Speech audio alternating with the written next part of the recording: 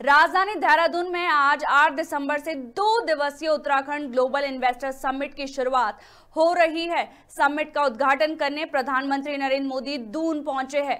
रास्ते में पहाड़ी संस्कृति और लोकगीतों से प्रधानमंत्री का स्वागत किया गया। पीएम पर फूलों की वर्षा की गई। वहीं फॉरेस्ट रिसर्च इंस्टीट्यूट पहुँचने के बाद राज्यपाल गुरमीत सिंह, मुख्यमंत्री पुष्कर सिंह धामी और उत्तराखंड सरकार के अधिकारियों ने पीएम मोदी का स्वागत किया। इस अवसर पर मुख्यमंत्री धामी ने पीएम मोदी को उत्तराखंडी इत्र भेंट किया। वहीं कार्यक्रम स्थल पहुंचकर पीएम ने सबसे पहले आर्ट एग्जीबिशन का उद्घाटन किया। बता दें कि कार्यक्रम में उद्योग जगत की बड़ी हस्तियों के साथ स्वामी रामदेव और फ़िल्म जगत की जाने माने लोग भी शामिल है।